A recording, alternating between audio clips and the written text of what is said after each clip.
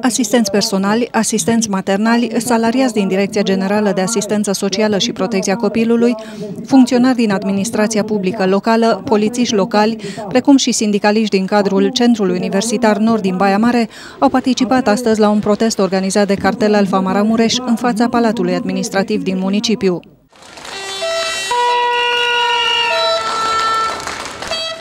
Am crezut că se schimbă ceva în țara asta, dar tot mai rău, tot mai rău. Deci nu spre bine, ci tot mai, mai greu și mai tot spre rău. Am spus nu lucrează, eu sunt asistent personal. Deci din, am doi copii, din care amândoi merg la școală, fetița la școală specială, o duc pe cont propriu la școală, stau cu ea la școală, o duc dimineața și vin după masă la ora 3, copilul meu în clasa 4, fetița aia 3 în Sigher cu farmație, fac naveta de la Bursa la 18 km pe cont propriu. Nu ne ajută cu nimic, decât ne tau din ce am avut, ne mai tau.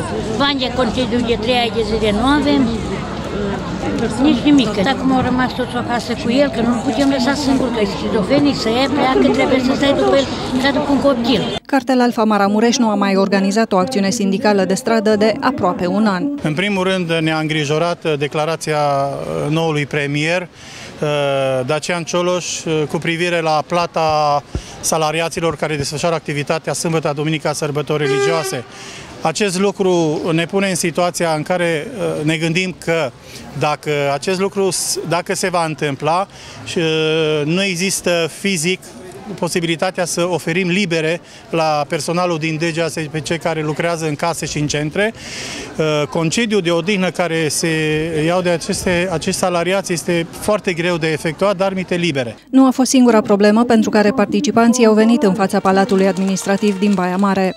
Bineînțeles, suntem foarte necăjiți de uh, asistenții personali, pentru că la sfârșitul uh, anului, la finalul mandatului domnului Ponta, s-a elaborat o lege cu mărirea salarială de 25%. Vreau să vă spun că în acest moment uh, Maramureșul este împărțită în două țări. Țara legilor și țara nesimțiților care nu respectă legea. Și acești nesimțiți sunt primarii care uh, le este ciudă că asistenții personale au primit 25% mărire de salar. În acest moment am scos în stradă și vom face pichetări la primăriile care nu au uh, efectuat această plată de mărire 25%. Mai avem o problemă, drepturi salariale câștigate în instanță din 2009, obositul de boc, uh, a aplicat o ordonanță, ordonanța 71 care dădea în ratie câștigurile salariale, iar nesimțiții de parlamentari și-au mărit cu 300% anul trecut uh, indemnizațiile. Acest lucru ne face să cerem în avans, nu în avans, la începutul anului, ultima plată la aceste drepturi drepturi câștigate în instanță. La acțiunea de astăzi au venit sindicaliști și din capitala Maramureșului istoric, iar lista revendicărilor a fost înaintată prefectului de Maramureș, Anton Rohian, și președintelui Consiliului Județean, Zamfir Ciceu. Reprezentantul guvernului în teritoriu a promis că instituția pe care o conduce va trimite o notă primăriilor din județ, prin care va cere ca acestea să prevadă în bugetele proprii creșterea salarială de 25% pentru asistenții personali. În acest scop, a solicitat sindicaliștilor să întocmească liste punctuale din care să rezulte care primării din județ nu au acordat aceste creșteri salariale și, pentru fiecare caz în parte, câți angajați sunt afectați.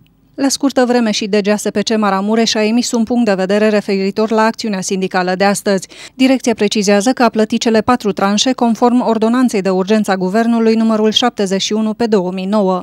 DGSPC Maramureș a respectat prevederile OUG numărul 71 pe 2009. Suntem cu plățile la zi și nu înregistrăm restanțe în ceea ce privește acordarea drepturilor salariale. Mai mult, ne-am exprimat întotdeauna disponibilitatea și suntem deschiși dialogului cu liderii de sindicat pentru a nu exista nemulțumiri în sistemul de asistență socială și protecția copilului la nivelul județului, a precizat Alina Coste Mădăras, director general DGSPC Maramureș.